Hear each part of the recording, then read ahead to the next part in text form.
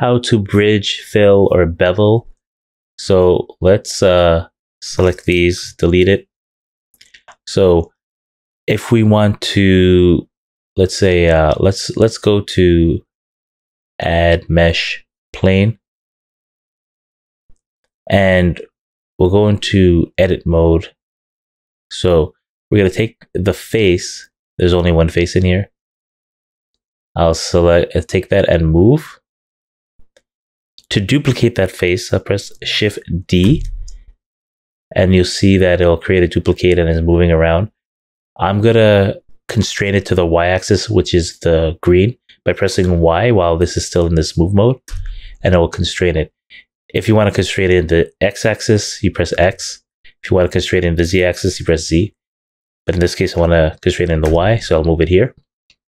Remember, we're in edit mode in Polygon, so it's just one object. So if I go to edge and I select one edge, let and shift select the other edge here. What you could do here is if you go to edge, bridge edge loops, it will connect them for you. I'll press Control Z to undo. You could also do Control E and you'll get this edge menu just floating where you are though, where your cursor is. Control E and then you could do bridge edge edge loop like that. I'll press Control Z to undo that. There are some other options. So if we press Control E, choose bridge edge loops, there's options down here. If I open that up, what you could do with that, for example, you could choose number of cuts and you could move these up and you could see that more cups cuts maybe if I go to x-ray mode here you can see it better you could choose how much cuts that are bridged together here I'll undo that so let's show the other option how to fill a hole so that's bridges bridge if you select the same edges from one side to the other it will bridge them together. I'll delete this object in object mode. I'll go to add. Let's say I'll add a mesh UV sphere. I'm still in x-ray mode here. I'll take it off. I could either press the period on the number pad key to zoom in, or I could press the tilde, which is right under the escape key or on the left side of the one key if you have a an English US keyboard. Or right above the tab, you have this thing that looks like, um, or, or the backtick or the tilde. It kind of, the backtick looks kind of like a quotation. When you click on that button, you'll get this menu that you could choose instead of uh, pressing the number but the numbers on your keyboard like one or three or seven to change the view you could you could do it from here press that button the tilde the button right under the escape key and choose the option. But what's cool about it as well, uh, actually, if I just use my middle mouse button and just rotate on back in perspective view, if I click the tilde or the backtick button, which is again under the escape key, right next to the one on the left of it, this option here, view selected, will also zoom in. So if you're on, let's say, a laptop that doesn't have a number pad, that's another way you can zoom in. So back to the fill hole and we're in object mode right now. Let's go to edit mode. So we go, go to the components, choose the vertices or uh, the faces, and I'll shift, well, select nothing, empty space to deselect, hold shift and click, left click, couple of faces, and I'll press delete, and then if you choose faces. So what you could do, if I go into edge mode, by click an edge, hold alt and click the adjacent or the neighboring or the edge right next to it, it will automatically select the hole. And to fill that hole, you could go to vertex, new edge face from vertices. Even though you're in edge mode, it knows these are the vertices and it'll fill the hole for you. If I go to vertices, you'll see that the vertices are there. You're missing edges here if you're trying to do all polygons. Um, Another way, if I control Z while these are still selected, I control Z a couple times just get back to selection. If you notice in here, vertex, the shortcut is F. New edges new edge face from vertices. So if you just press F instead, that also will fill it up. There's also, if I press, whoops, Control Z, there's also another option under face. There is face fill, which is Alt F. And you notice it's different because what it will do is try to make triangles to keep them all um, triangles, which will be good if you're dealing with a game engine, which usually, let's say Unreal, if you bring in a static mesh, it always makes everything triangles. But when you're if you're modeling for for it to be edited or to be deformed for animation, like in a rig, this is not a good edge flow or topology is not that good.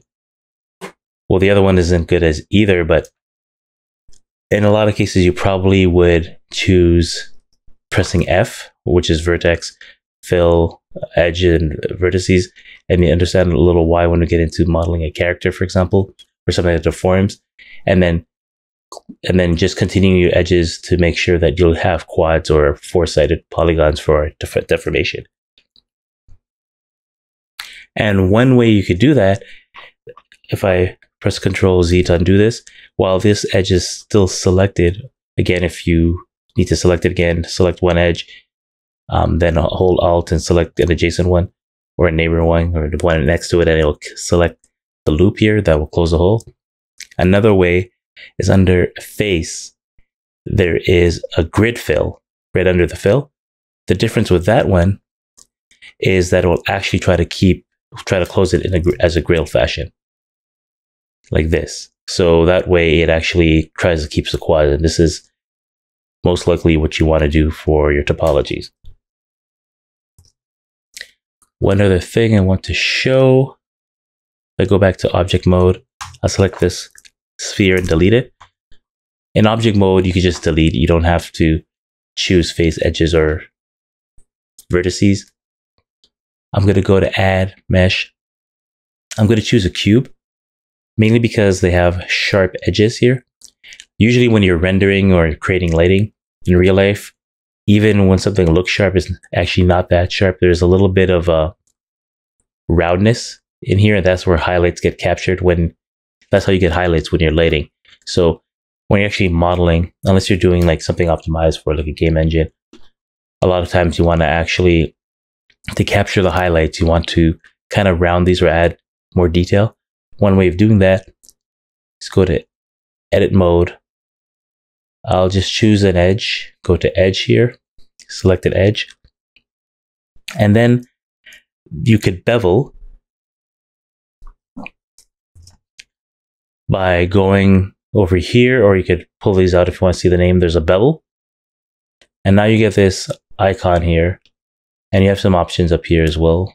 But if you take that, well, manipulator, not icon, the manipulator, and you pull it, you'll see that the edges kind of like split apart. Right, right now it looks flat, right? If I do that, well, uh, if I undo go to the side, you see it looks like it's flattening, flattening. But if down here you have this option, if you click on it and open it before you commit, after you move it, you can add more segments and that's what rounds it out.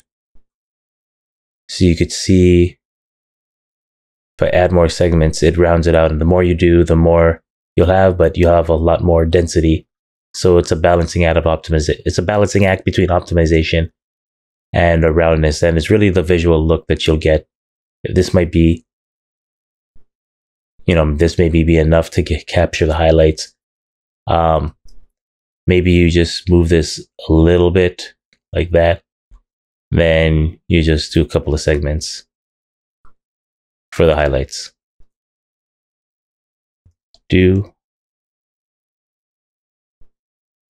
And also you could press if you just selected edge, you could press Control B to do the last operation. Well, it's still going to be bevel, but the last operation meaning like it had still four segments. So if I undo that, and let's say I take the other side, it's going to be one segment now. Control B, that's a shortcut. And let me do that again. Select this, Control B, and then I'll have that option. I can select this and bevel it that way. Thank you for watching. Remember to like, comment, subscribe, and hit the notification bell.